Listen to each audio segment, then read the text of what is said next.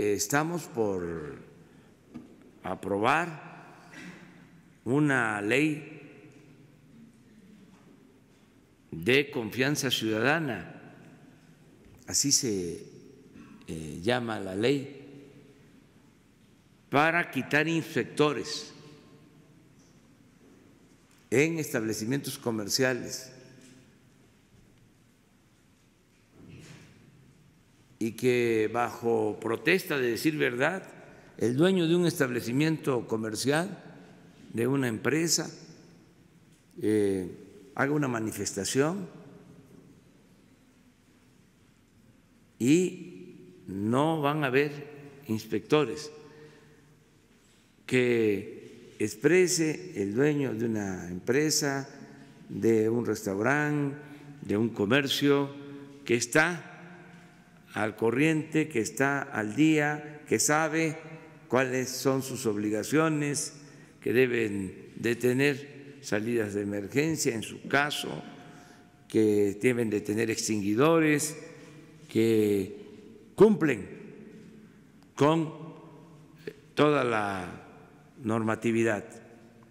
Y esa manifestación se realiza eh, y solo va a haber una fiscalización por sorteo.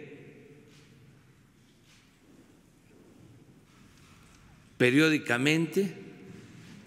que puede ser cada año, en compañía de las cámaras de comercio,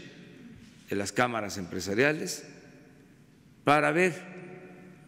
si el ciudadano, el dueño del establecimiento comercial cumplió y si cumplió, hacerle un reconocimiento. Si no cumplió, entonces sí, fiscalización permanente. Y eh, como hemos dicho aquí, va a llevar tiempo a que permee, que baje este comportamiento, esta forma de ser, el que el servidor público eh, sea un auténtico servidor público, que entienda que no eh, debe de extorsionar, que no debe de cometer ningún acto de corrupción. Quiero eh, expresarles que eh, tengo ya eh, indicios de que ya la actitud de los servidores públicos ha empezado a cambiar abajo, porque eh, hay un ambiente distinto, ya no se permite la corrupción y además es delito grave